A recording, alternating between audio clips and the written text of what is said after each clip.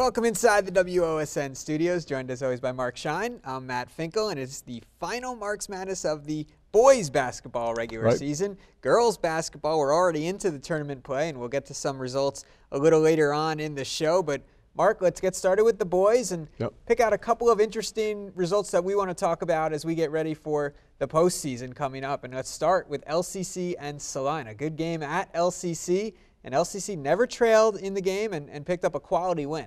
Couple of things I think that are really interesting when you look at how that game played out because LCC played most of the game without Trey Cobbs. Had a shoulder injury, not sure to the extent of that. Josh Dixon stepped up with 16 big points and just proving what we've talked about all year long. The guard play in our area right now is really, really good. Josh Dixon steps in for Trey Cobbs. They don't miss a beat and play against a good uh, Salina team and defeat them. A lot of strong guards in Yep. the area. Ottawa Glandorf defeated Division One Perrysburg, and, and they have a good guard as well in Jordan Verhoff. They do. And of course, if you look now what Ottawa Glandorf has done recently, Matt, they're, they're 4 and 0 in their last four basketball games. And in that time period, they're giving up just 44 and a half points per game. So certainly what they're trying to do defensively is very good right now. And they're looking to make a stand for the tournament by playing defense. And staying in the Western Buckeye League, Wapak falls to Coldwater by two after beating Van Wert on Friday night. So these teams, we know it's an all WBL district. These teams are going to face each other again, and, and some of them are, are playing really well at this point. They really are. Of course, they've lost uh, Morgan, you know, with that knee injury that he had, and they started out the season eight and six. Did Wapakoneta? They're three and four in their last seven games. And when you lose a player like that, maybe not necessarily the, the key component, the number one guy on your team, but it changes your rotations around.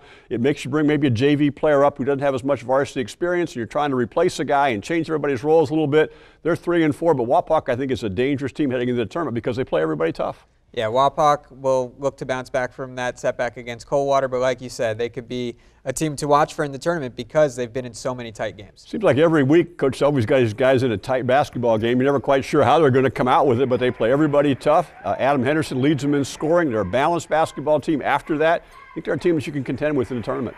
How about Kalida? They defeated Continental to Yep. claim the outright Putnam County League title. Yeah, 48-43. Continental couldn't get that third upset in a row as they had the previous two weeks in conference play. Once again, if you look at defense and how Coach Quarterkratz has taught that, in PCL play, Kalida gave up 39 and a half points per game against their seven opponents in PCL play. Part of it is what they do, of course, offensively. They're not going to run up and down the floor and try to score 100 points. They don't turn the basketball over very much. They play a slow and deliberate type pace. Makes it easier to have a good defensive average, but they're solid defensively as they are. They get a lot of scoring from Underfirth and Quarterkratz. They got some balanced guys after that. Good basketball team that Coach Quarterkratz has put together. Miller City also beats Grove 53-50 on Saturday, so that's good momentum for the top-seeded Wildcats as they get ready for the tournament as well. Yeah, they are. And of course, that's a team that we look at as, trying to score a lot of points. And unfortunately, I saw them on a night against Ottoville when they didn't have one of their better offensive games.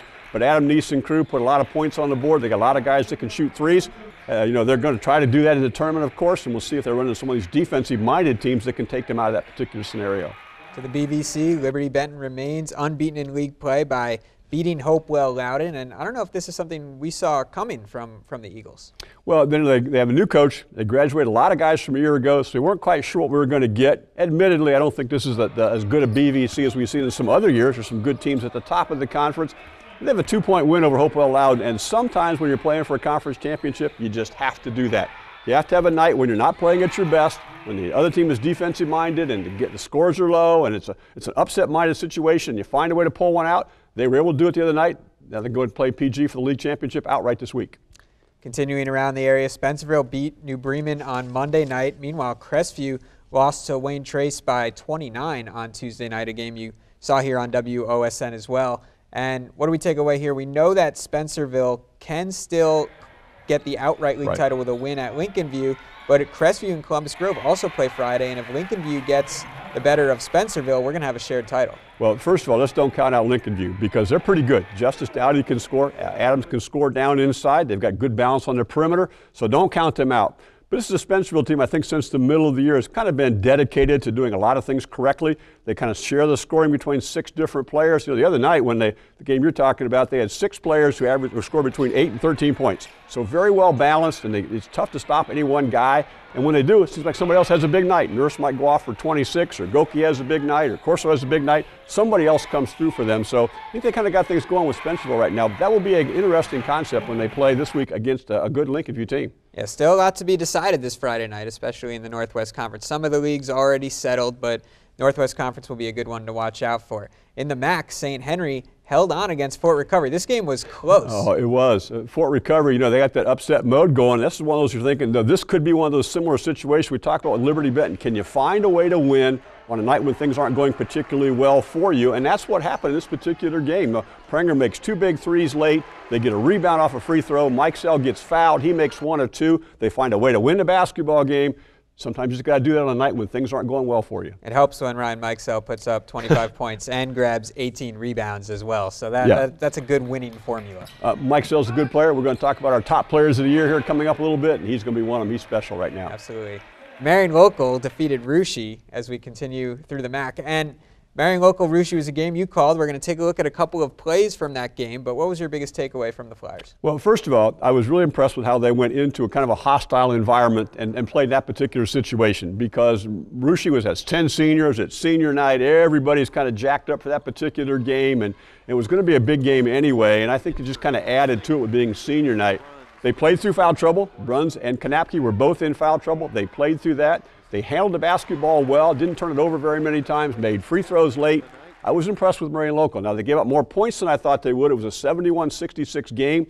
I didn't think it would be that high of a scoring game if Marion Local would win. They did. They put 71 points on the board. A good preseason gap basketball game if you look at the regular season heading into tournament.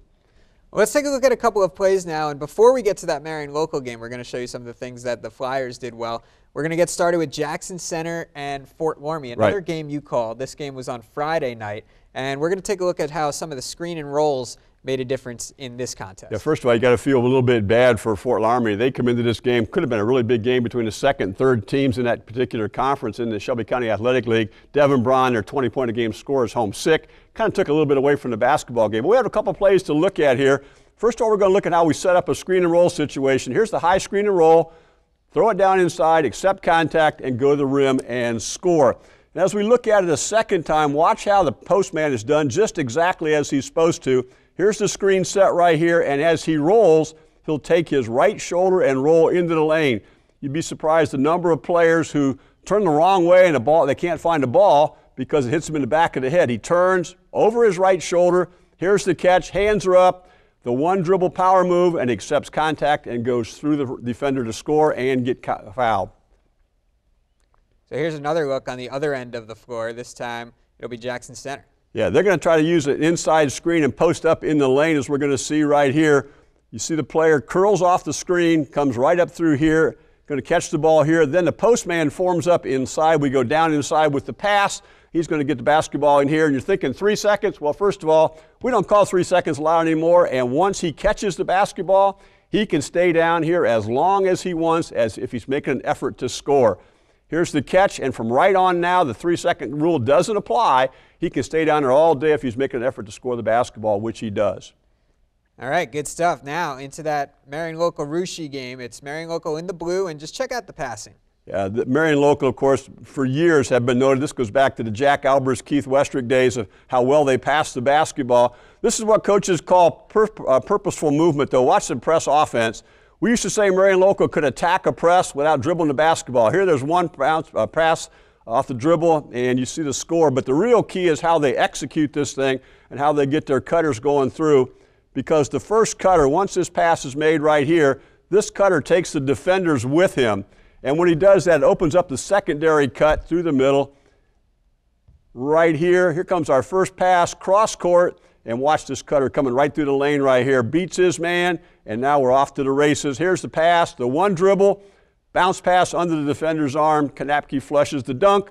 We used to say Marion Local probably practiced their press offense without having air in the basketball because they never had to dribble. At that time, just one dribble and set the dunk up. Two good examples of of not putting the ball on the floor and Yeah. getting open looks. And in the first case, it was a three. That time, a dunk. And Well- it's it's really fun to watch a team execute that well. Of course, Coach Goettemoeller went through that particular program. Jack Albers started that back in the 70s, and Keith Westrick and, of course, Coach Goettemoeller learned from those guys, and that's how they attack pressure. They're good at it. All right, it's time now. We want to know Mark's top Yep. five. We got a first team and a second team on the boys, and uh, of course, we haven't seen everybody this year. That's We've right. done our best to see as many players as we can, but I think Mark has uh, done a good job compiling a list of some very talented high school basketball players. Well, first of all, Matt, if I told you you could have Trey Smith, Jaden O'Neal, Carson Monger, Jace Darbyshire, and Ethan Linder, you'd say that's a pretty good basketball team. Without a doubt. Yeah, that's my honorable mention. Those guys, for whatever reason, couldn't crack the, the, the top 10. So let's go through our second team, our first team first. Which one do you want to do first? Let's do second team. second team first. Okay. Second team in alphabetical order because I wasn't going to try to rank these guys. Austin Allmeyer from Elida, Noah Bramlich from Ottawa Glandorf, Trey Cobbs at Lima Central Catholic, Luke Knapke at Marion Local, and Conan Lotzenheiser over at Crestview. Very good list. And what makes some of those guys such good players? Well, first of all, I think what look at what Austin Allmeyer's done at Elida this year. I mean, you know, he's got uh, started the season hurt. His teammates have been in and out. They're young guys, and he's just been a leader all year long for them. Of course, Noah Bramlich, one of the top players in the uh, the conference in the Western Buckeye League. Trey Cobbs, who's the leader, I think, for what he does from the point guard position over there uh, at Lima Central Catholic. Knapke, we had to find somebody from Marion Local. It seems like it's a different guy every week, whether it's Ruthman or Bruns, whoever it might be. I went with Knapke because I saw him live and had a good basketball game the other night, so I went with him. And then Lotzenheiser has just carried Crestview. So many of those guys graduated a year ago. Two key players are hurt now. He still scores around 20 or 25 a game. So I'm with Connor Lotzenheiser as our fifth guy. Can't go wrong with any of them. Can't go course. wrong with that. Nope. All right, let's get your first team now. Okay, again, alphabetical order. Kyle Ahrens from Versailles, Ryan Hoying at Salina, Ryan Mikesell at St. Henry, Xavier Simpson at Lima Senior, and Dantez Walton from Lima Central Catholic a very talented bunch. And a lot of them playing in college. Obviously, right. some are not even seniors yet, so we, we're assuming they will play in college. We don't know where they're headed just yet, but that group right there, you could put them against any uh, five in the state, and I think we're going to have a pretty good chance. I think there's a whole lot of coaches would like to take those guys. Of course, Kyle Ahrens having that great year and going to Michigan State. Ryan Hoying, the leader of the pack down there, at a very good team that we see in Salina. Of course, they're going to go into the tournament on a pretty good roll. You know, the teams they've lost to are 55 and 7. Three losses for Salina this year. Their opponents are 55 and 7 they lost to. So they've lost to really good basketball teams. Then, of course, you can put up Ryan Mikesell, probably the best player, at least from on the winning team side in the uh, the MAC conference. I'll be interested to see whether he or Kyle Ahrens gets to be player of the year in that particular conference. Xavier Simpson, leader of that Spartan team. It does so many things for them, of course. And Dantez Walton, I went with him over Trey Cobbs because I think he does more for Lima Central Catholic than Trey Cobbs does, but two great players over there for Coach Kill. All right, I was assigned to do the same thing on the girls' side, and instead of doing a first team and a second team and honorable mention, I just picked 10 or 11 girls yep. that I really enjoyed watching play this year. And I'm going to get started right away with Lauren Bruns of Versailles. They have Carl Ahrens on the boys' side. Yep. Lauren Bruns having a tremendous season on the girls' side. You got to look at Maddie Dakin in Bath and what she's been able to do in her senior year with the Wild Kittens. Molly Glick of Arcadia, we don't – talk about Arcadia too much because they're kind of on the fringe of our viewing area, but she's leading the BVC in scoring and rebounds, 22 and 11 per game, having a fantastic season. Liberty Benton's Katie Simon, she's going to Wright State next year and helped lead them to an undefeated year so far as they get ready mm-hmm. into the postseason. And Rion Thompson for Lima Senior. Lima Senior unfortunately just lost mm-hmm. in their sectional game, so their season is over. But Rion, just a junior, she'll be back next year. Fantastic season. You ready for five more? Go to it. How about Lindsay Motika from Crestview, another undefeated girls team? Talked about the two undefeated teams in the area, LB and Crestview. Lindsay Motika, a big part of that one. And how about Aaron Morrow of Van Wert, mm-hmm. 1,000 point scorer. Ali Toby, 36 against Parkway just uh, last week, also a 1,000 point scorer for this for the year.